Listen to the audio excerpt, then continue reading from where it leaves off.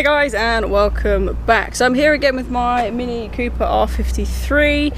Today is kind of just a bit of a sorting out day I guess. Um, I've literally just spent an absolute age just trying to get the car off the floor which is a real pain in the backside to get it up purely because it is so low and then of course it's on 16s not 17s so it's even lower and I have no jacks to get under literally either side, front or back jacking point. So I've finally just got that done up.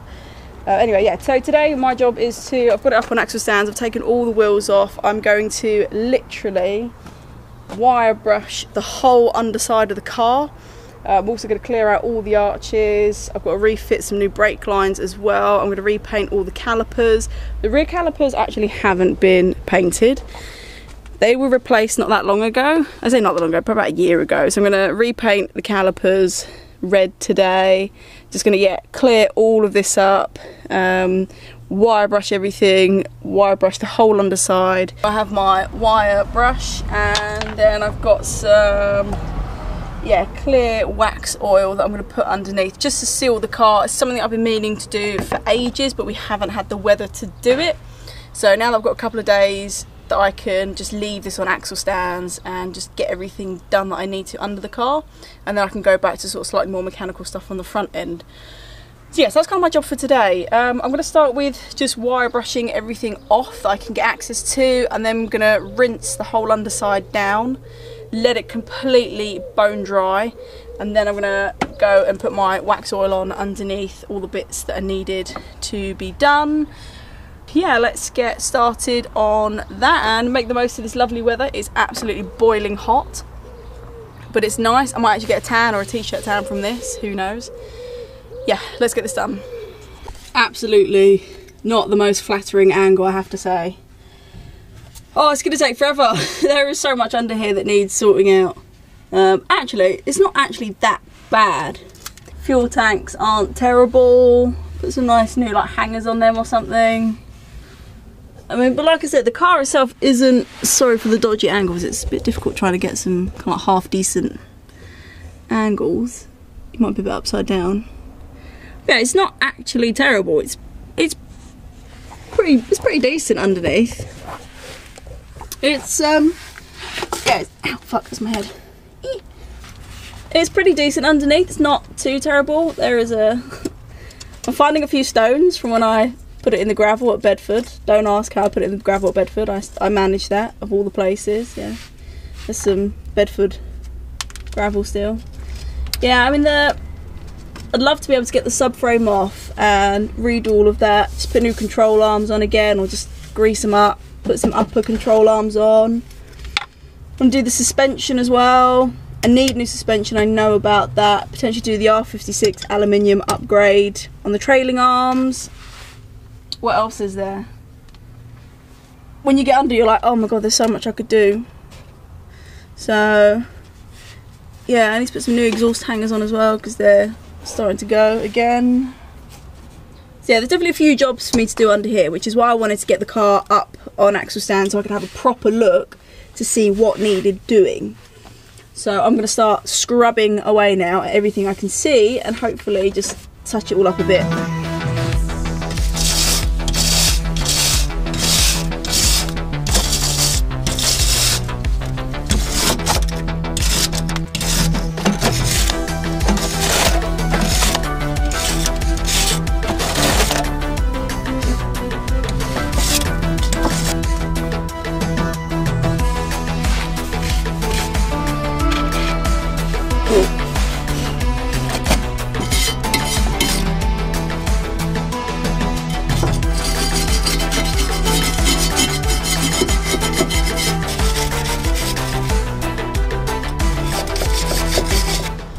Right, so I've now fully scrubbed the underside, so I've wire brushed it all down and I've got as much of the debris off as possible. Actually, wasn't that bad. It's only really, probably mainly just the fuel tank hangers and maybe like the rear control arms. Not the new ones I put on, but the other ones are a bit naff. But it actually wasn't too bad. Um, obviously, a lot of it is mostly just surface rust that I've taken off, which is kind of inevitable, really. And then in terms of the rest of it, if I can turn that camera upside down, yeah, like I most of it's really kind of like the um, fuel tank hangers. But the rest of it wasn't, actually wasn't too bad. So that's always good. It's always nice to know you haven't got a total rust bucket for a car. Um, I find that a really important thing. When I go look to buy cars, I make sure there's absolutely minimal amount of rust under it. I can't stand rusty cars. I just feel like it's just a world of an abyss of, I don't know, trouble. So I don't do it.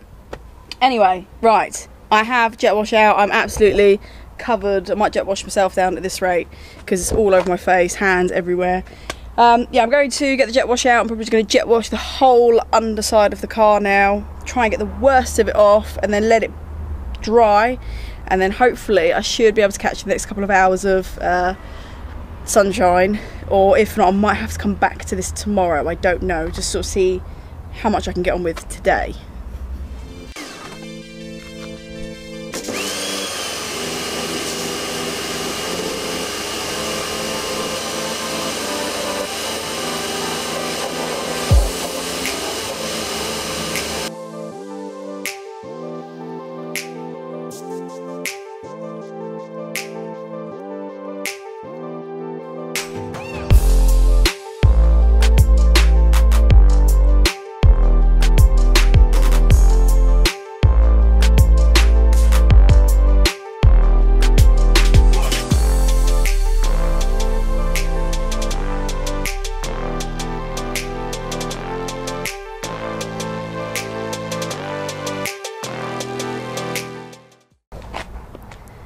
And now we wait for it to dry.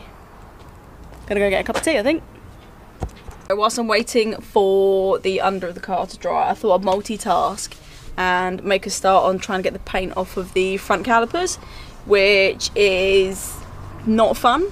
It is not fun at all.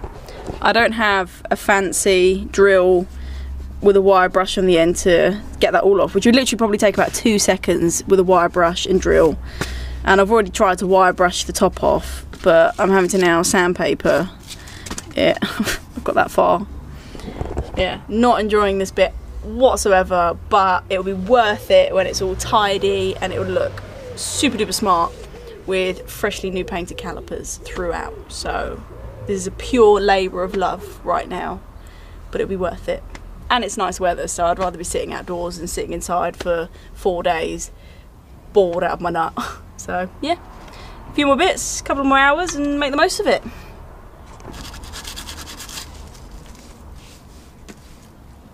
Oh, my sandpaper's falling apart.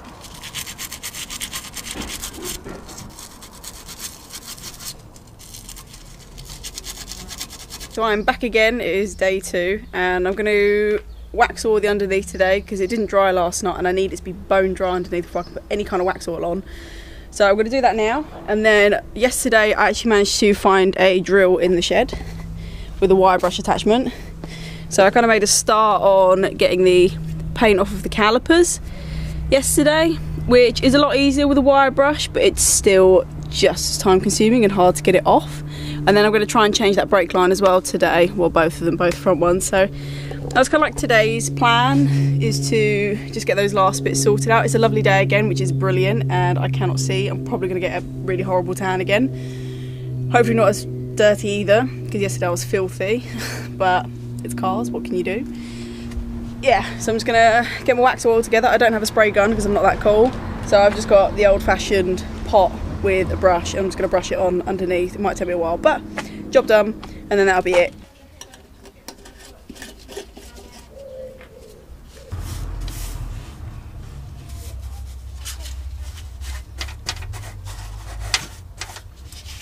More Bedford gravel. Gonna start collecting these, a lot of memorabilia. Yeah, I've done most of the car already. Um, again, really unflattering angle. So I've done most of the car already. I've already done all the back part, all the subframe, the front subframe, that side behind the camera. So I'm now just doing the driver's side. Again, it's not too bad. Obviously, the rust kind of ox oxidised a little bit overnight obviously just where I've taken the surface rust off so definitely needed sealing again um, yeah it's actually not too bad obviously apart from like the exhaust hangery bits are a bit naff but again not that bad like they say prevention is the cure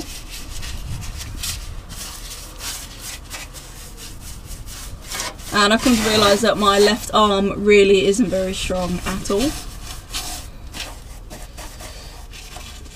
What's that one? Just trying to not get it on any plastics. So like the fuel tank is plastic, just trying to not get it on on there. Just only really getting it on any of the metal components. So you don't get on the exhaust heat shield.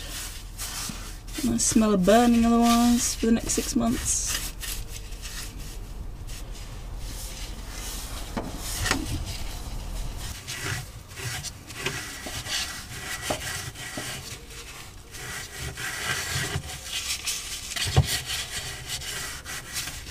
I think that's kind of it.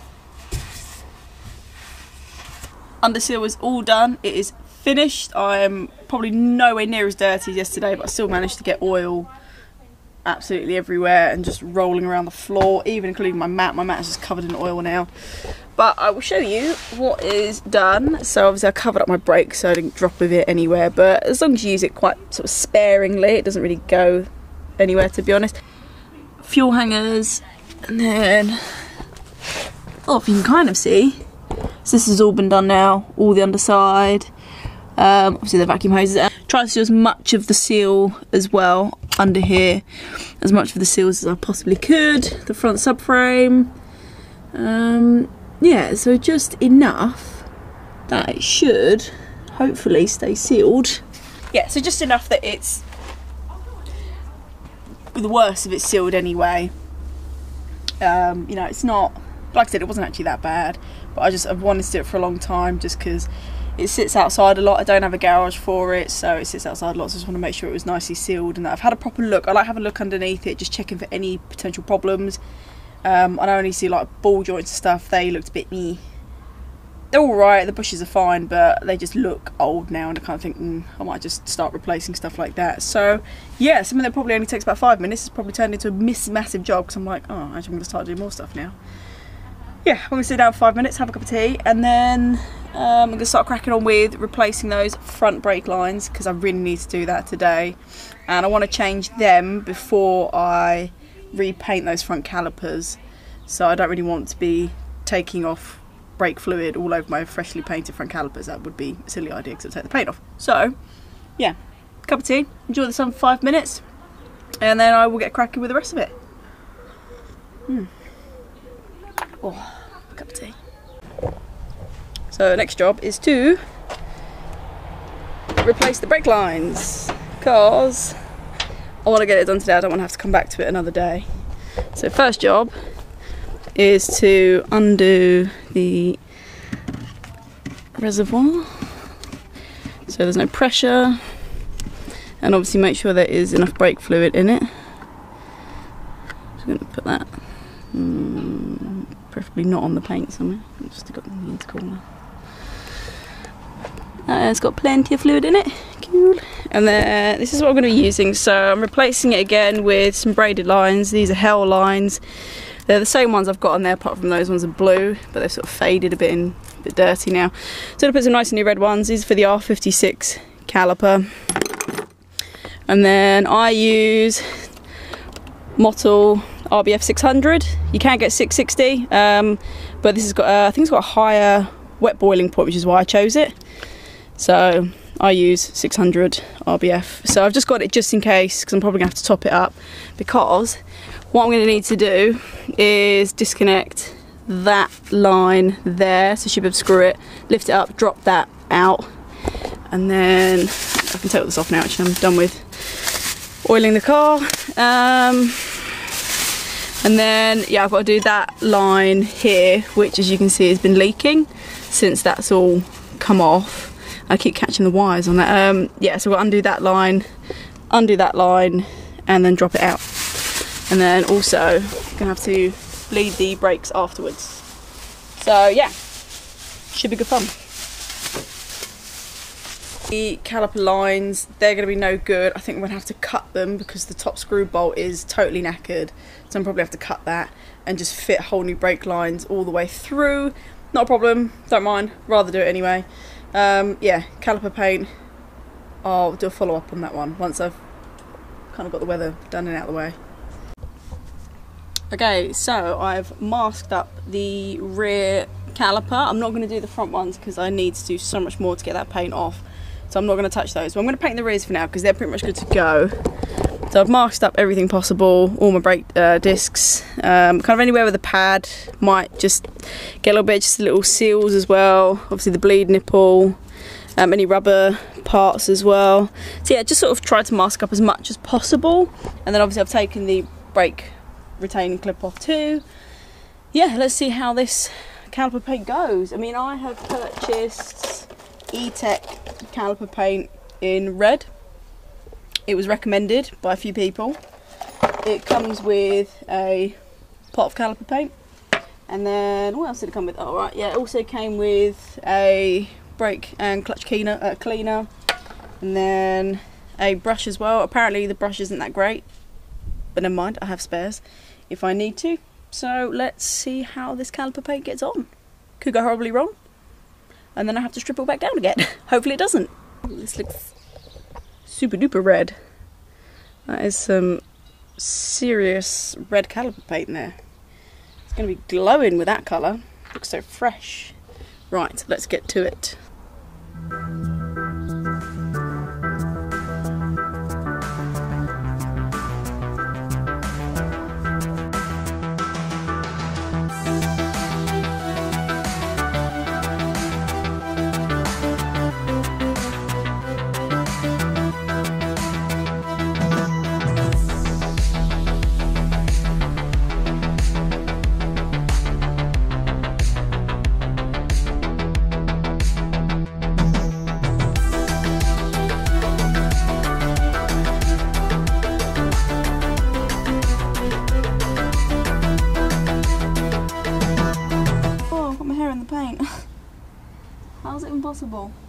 One coat of paint is on.